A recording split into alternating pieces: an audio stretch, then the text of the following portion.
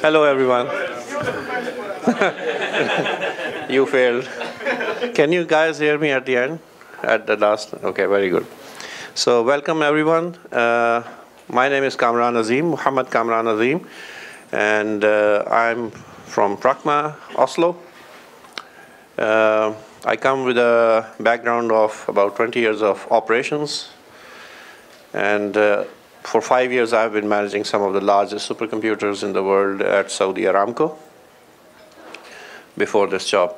Right now I'm with Praqma for last two years and where we are doing very much fun stuff with uh, continuous integration and continuous delivery using Docker, using Kubernetes, and lots of fun stuff.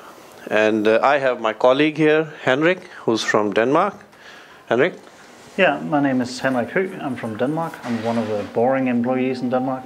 I have the same nationality as my workplace. uh, and I'm white, so it's really boring. And I'm a male. Um, so, really boring. Um, yeah, I've, my first computer was a Commodore 64, so I've been working mostly as ops, and I've been at Praqma for two years as well. I think we started at about the same time. I was the first employee in Aarhus, and Kamran was the first employee in Oslo.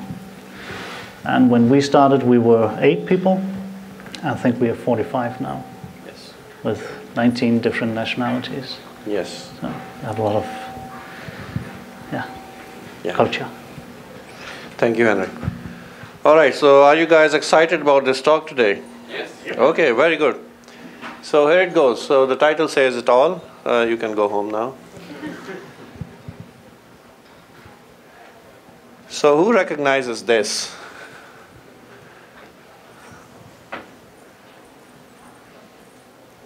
It's a scene from some movie. Hmm? no. Okay, so it, this is a, a screen grab from the movie Immortals uh, released in 2010. The idea behind this, it's just some funny coincidence. So in Greek mythology, so first I cover, I, I talk about the word Kubernetes. Uh, it's a Greek word, and it's funny how we pronounce it as Kubernetes, and the Greeks laugh at us because it's Kubernetes. Kubernetes. We but, have a Greek uh, guy.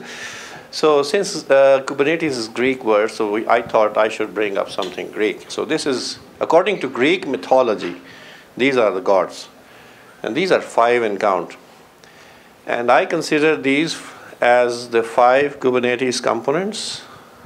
Three of them run on master or controller node, namely API server, scheduler, and the controller, yes, and uh, the two run on uh, worker node, the kubelet and kube proxy. So I thought a uh, connection, so I just thought it would be interesting to show this. And in a way, we expect our nodes and pods not to die, just like these guys were not supposed to die, but the titans beat the crap out of them. so anyway, Let's move forward. Uh, this is what a Kubernetes cluster looks like, as probably most of you already know. So we have a, an API server at the heart, and we have a scheduler, we have a controller manager, and these three basically make up your control plane. And we have, uh, in this diagram, we have two nodes, just to emphasize on uh, multiple nodes. We have the same kube proxy running on two nodes and the kubelet running on both nodes and some pods which are being managed. So in, in Kubernetes, everything looks up to the API server. That is the heart of Kubernetes itself. And API server talks to etcd. And I've just drawn one instance or one uh, depiction of etcd here. It can be a cluster, and normally it is. So we wanted to set up a Kubernetes cluster for a client, and they wanted it on bare metal. So we came up with this setup. And in this, you can see we have a control plane, Uh, we tend to call them controllers. Uh, many people tend to call them masters. So uh, I will use this term uh, most of the time. We have a control plane. We have some worker nodes. We have etcd cluster. We have some shared storage through NFS. And this all makes up a Kubernetes uh, network or a cluster. We also have load balancer here running traffic and this is the corporate router, and we have other components of this corporate behind uh, on this interface, whatever their other servers and their users and whatsoever. And this is their public connection to the internet. Excuse me. And this is uh, a DNS server somewhere on the internet, and this is just some other computer on the internet. So this is, the idea is that we are running Nginx somewhere here, and we access, we, we are able to access it not only through corporate internal network, as shown here, we can also access it all the way from this computer outside, which is somewhere in the world, anywhere. So that is what the setup looks like, which we wanted to set up. And we encountered some problems. So when we were configuring, we configured controller nodes, we configured etcd, configured controller nodes, and then we went to con configure worker nodes, and then we realized what API server do we point our kube proxy to? It only takes one argument as API server target. So this was a first big question. We couldn't risk saying uh, specifying only one of these because if one of these dies, what next? Do we go manually configure the worker to start talking to the other one? Because it doesn't take a string or a list of API servers, in the, especially in the kube proxy. Then we had a load balancer, and we didn't know which API server to talk to. We had the same problem here whether to use this one or to this, use this one. That's second problem. The third, third problem came, how do we make this load balancer highly available? Because all the eh, traffic which is coming in is coming into this load balancer. What if this dies? This becomes single point of failure. So we had these big questions here in the setup. Can you guys see? Yeah, I apologize for standing in your view. Okay, so in the cloud it is quite easy because cloud, and you take talk about any cloud provider, GCE, Amazon, they provide you with load balancers and you can put load balancer in front or behind of anything like so. And, that, and normally those load balancers are stable enough or the cloud provider takes care of them. Uh, so we could address one problem like so, and the second problem was solved by the using the cloud provided load balances. But this is cloud, and our setup is on bare metal. So cloud is easy. We could just set up a load balancer, provide its IP address to all the kube proxy instances, to also to our incoming traffic, and everything is solved. But this is cloud, not bare metal. So we still had those problems. So then we thought what to do. How do we provide high availability to this setup, which we have? What if we provide a similar proxy ourselves? But then, what if this dies? Huh? two proxies. And then what if the other one dies, and so on and so forth. So the problem was still there. The problem of high availability. We could now look up to the controller nodes, but we still have problem of high availability. This instance and this load balancer are still single point of failures. So we saw that some people are using DNS, They set up uh, multiple proxies, multiple load balancers. They set up a common DNS name with a very low TTL, etc. I would just say these two words. You can read these, but and there are many other problems associated to it. So, no, DNS no go. This is our solution. This is not our solution. Yes? Have you thought of BGP multi-pathing? No. Okay. Didn't occur to me, sorry. Uh, since we were on bare metal, and since I, br- I had some experience of setting up such clusters in past, this was a natural uh, thing to do for me. So we introduced CoroSync and Pacemaker to this problem. So CoroSync is what used to be Linux Heartbeat project or was it IVS or LVS? I don't remember exactly now. There was Heartbeat, and then there was Linux LVS, which is probably now Pacemaker.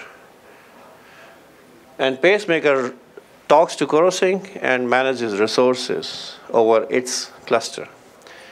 Now you're going to hear two about you're going to hear about two different clusters. One is one cluster is going to be the Kubernetes cluster we are talking about, and the second is this high availability cluster.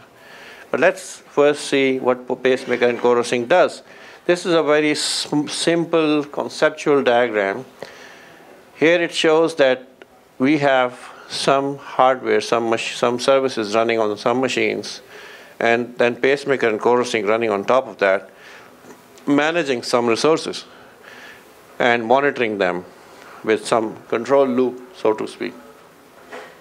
When it detects hardware failure, it moves the resources to other nodes, depending on what you define in the policy.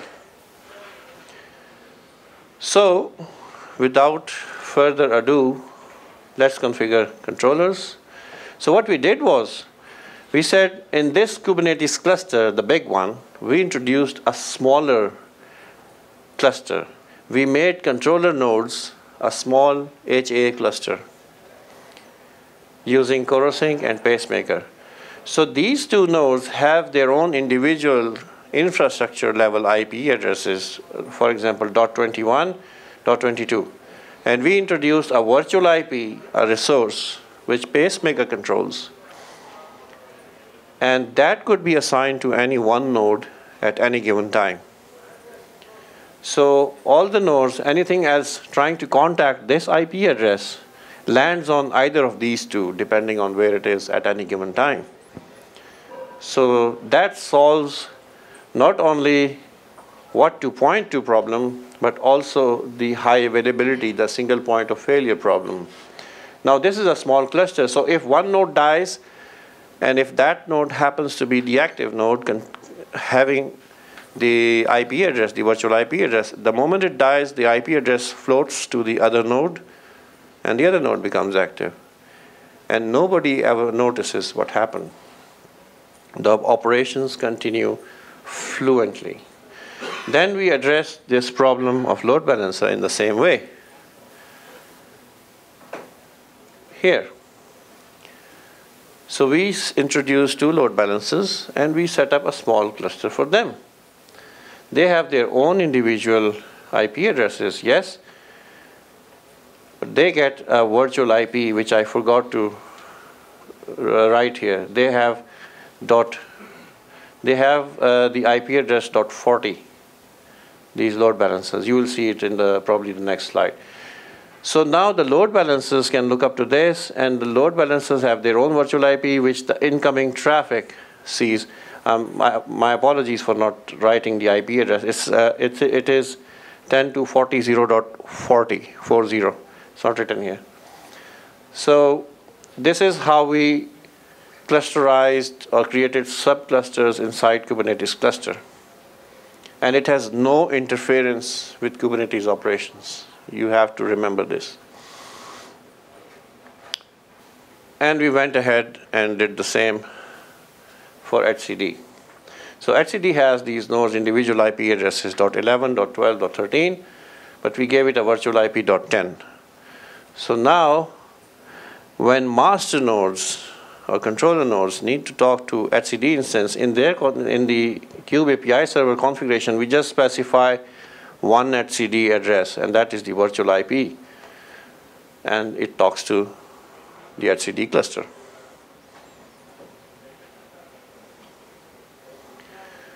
So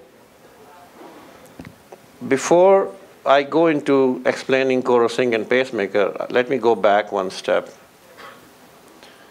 So we assign a virtual IP to either of these two nodes, right? You understand that part? Yep. Okay. Controller nodes form an internal cluster. The Kubernetes software forms an internal cluster itself there is a leader which is elected by itself, and then the, the other nodes become followers.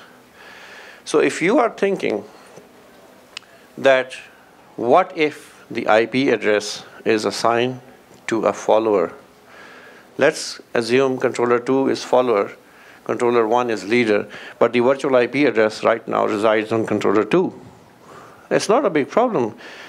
It takes the request, it just gives it to the leader, and the leader does what it wants to do, and then, then the, and the business continues. And if, for example, the virtual IP was already on controller one and that was active, it just receives all the requests and handles them. So the the point or the factor or the the thing that controller nodes have their own internal net internal cluster saves us from a lot of configuration on pacemaker level. We don't have to manage and bind our virtual IP address with the Kubernetes services. We don't have to bind that, find out where is the leader, and then go and set up the virtual IP address on that node. We don't need to do that. So we, we are saved in, in, in that aspect from a lot of configuration. So, how it works? Yes.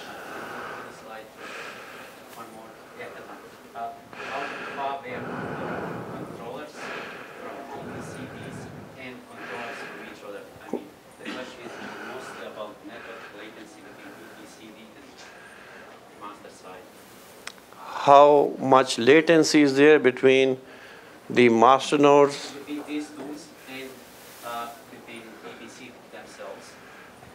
They're, they're on the same premise, on the same site, on the same rack. They are on the same premise, same site, same rack. So, so there is no latency. Yes. Yes, yes, go ahead, ask questions. This one?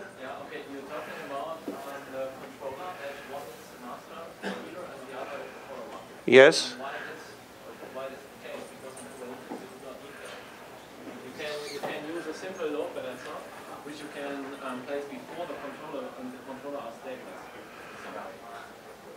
Uh, the way we saw Kubernetes working, we saw one node acting as a leader and the others acting as followers. And we saw the same in etcd. Hmm. So, so that's why we came up with this design. That even if uh, a, a master node is a, is, a, is a follower, then it can talk to, still talk to the leader, and then the leader can do whatever it wants to do.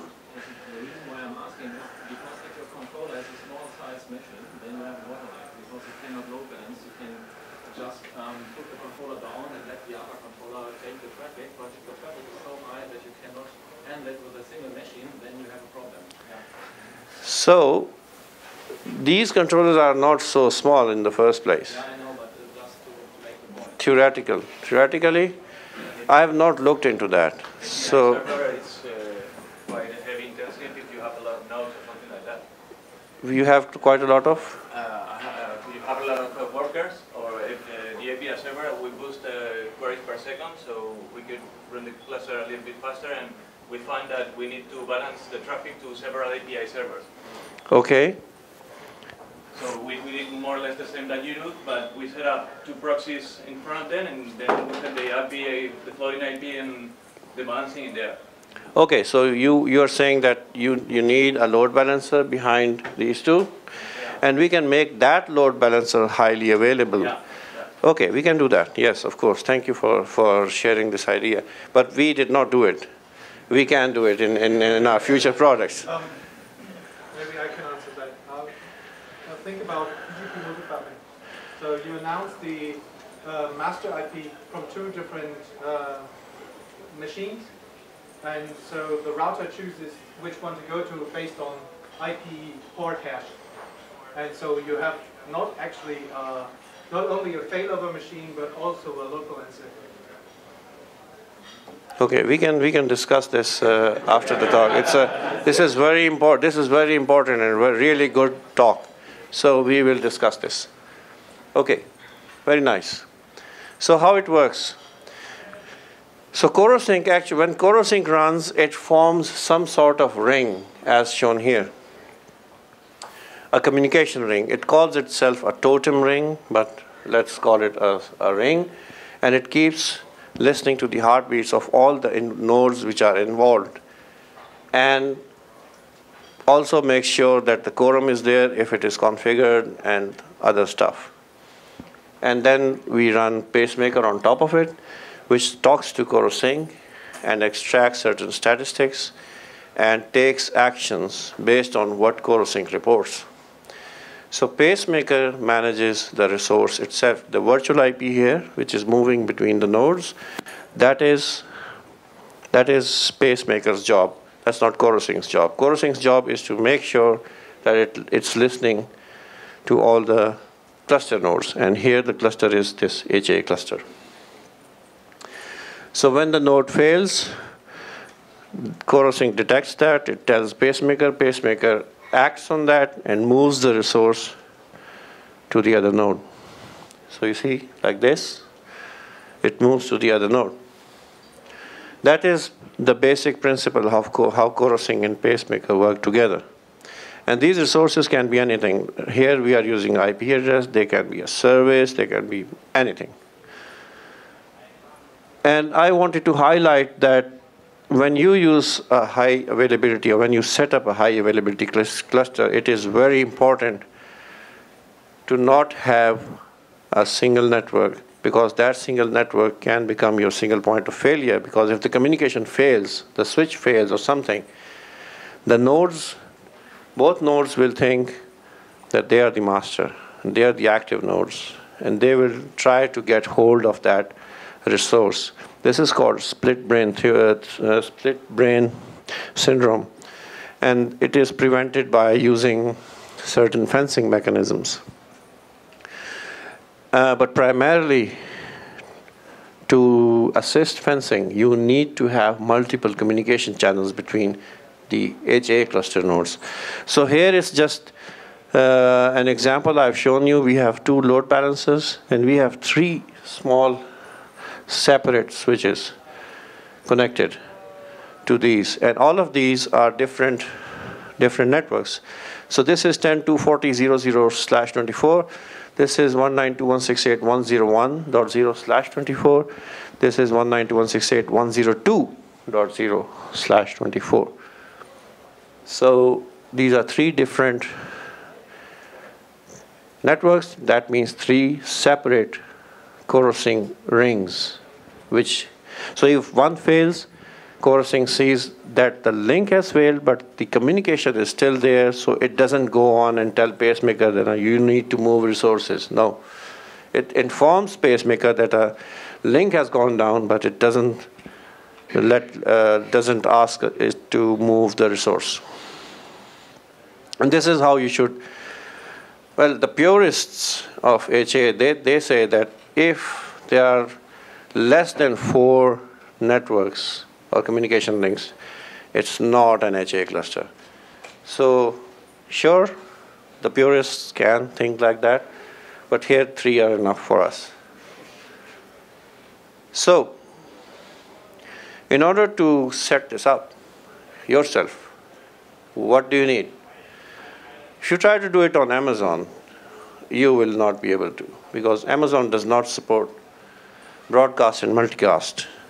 And we need broadcast and multicast for Corosync to work. It sends its packets and, and listens to it and everything.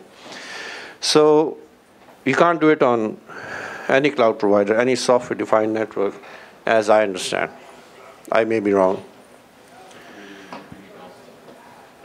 Uh, I didn't see a unicast option in Corosync configuration. used to do it because I set up based on Amazon before. Sorry? I set it up on Amazon before, just five years ago.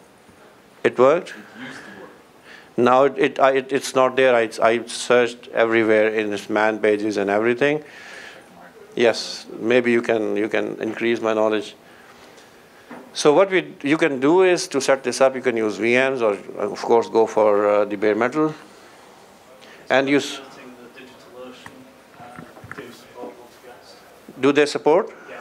Okay, I don't know. Th- This is, the, the setup you're describing is exactly how their docs system describe setting up uh, uh, HA, HA proxy. Very good. So if, if the, the, the provider you are using supports the multicast and the broadcast, then please go ahead, use that.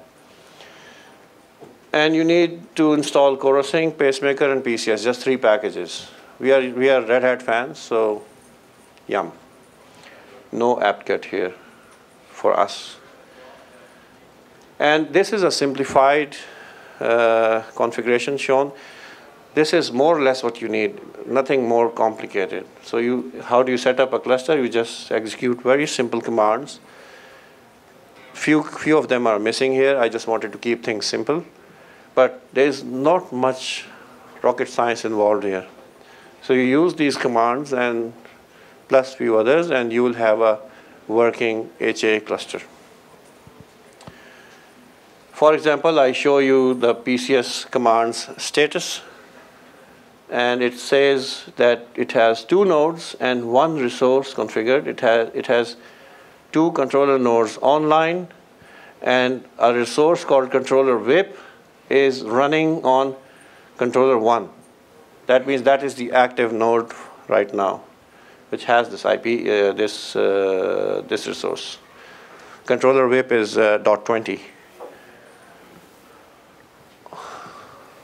Demo. And for demo, I request Henrik. Yeah. I was asked if I wanted to break stuff, and uh, don't say no to that. So the screen resolution messed it a bit up, but I think you get the point here. Hopefully you can see everything. So the two top windows are from my uh, local machine, my host. I just do a kube control get pods and kube control get CS. Um, So if, if, if, you, if you can point to different components of the screen, Yeah. different parts of the screen, this one is showing uh, uh, for every half a second it's getting a list of ports, right, Henrik? Yeah. And this one, this one here is showing the cluster status, kube control get CS every half a second. Yeah. This one is uh, the output of IP address command from controller node 1. This is output of IP address command from controller node 2. And this is an, an active pod running Nginx, I believe. Yeah. And a, a watch loop every half a second. And we are also pinging the virtual IP address, which is 10.240.0.20. And these are our virtual machines running on KVM. Yeah.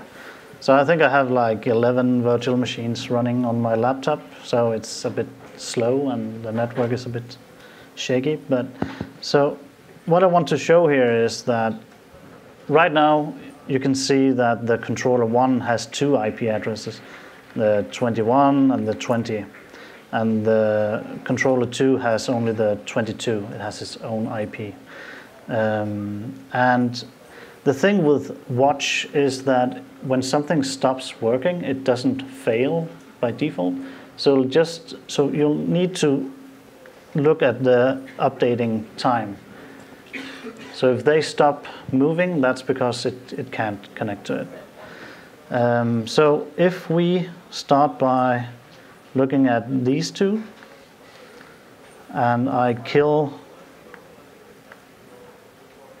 this one, Force off, yes, very good. then you'll see that the virtual IP pops over to this one now. Now this one isn't updated anymore because it can't reach it, right? And this one connect, uh, continues to to to run the uh, the IP AD, ADD command. So now everything is running on controller two. Everything, all the traffic, and up here you see that everything is still working and it's fine. Now the other example is that I have my, my Nginx running inside my cluster and I exposed it as an, with an ingress. We have traffic, traffic running on two machines. We have uh, LB1 and LB2 and they also have a shared IP uh, .40.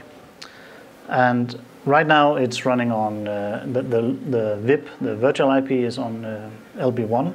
Can we, Henrik, can we kill this ICMP ping and can we ping dot .40 here? Yeah. Okay.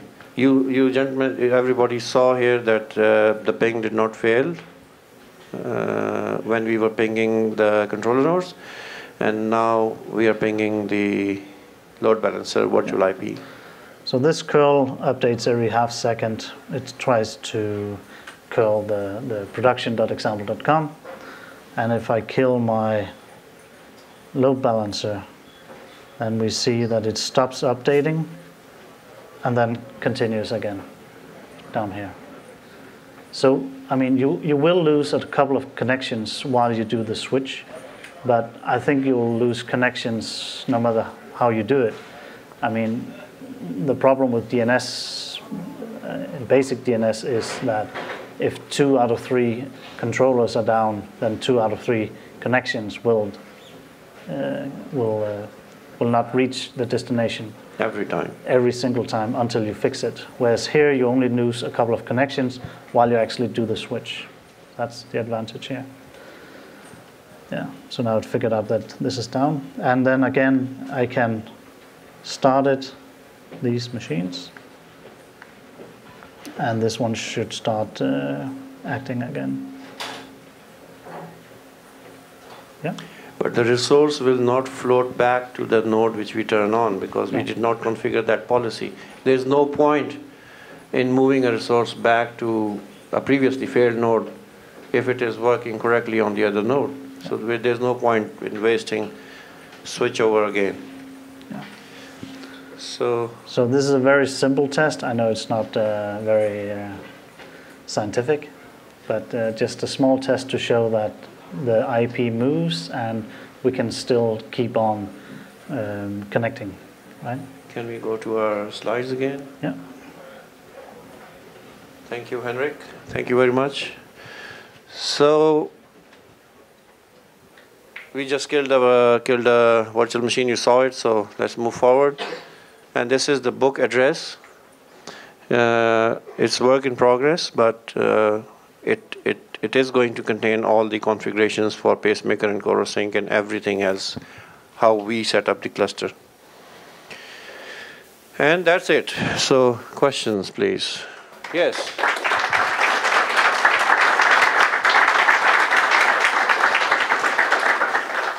Thank you. Yes.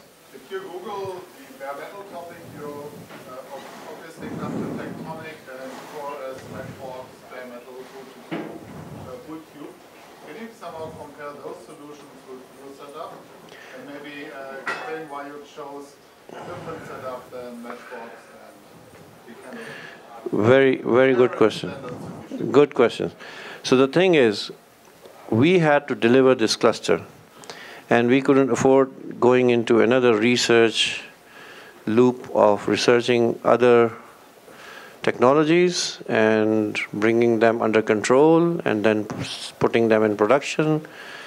And since I already had experience with uh, HA clusters uh, configuring, so I said, let's go ahead with this. It's tested for like more than, I think I've been working with these technologies for more than 10 years now.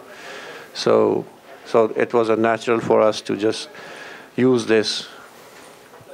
but we can definitely look in uh, the other directions. Yes, more questions? Okay, that's it then. Thank you very much for coming. Thank you.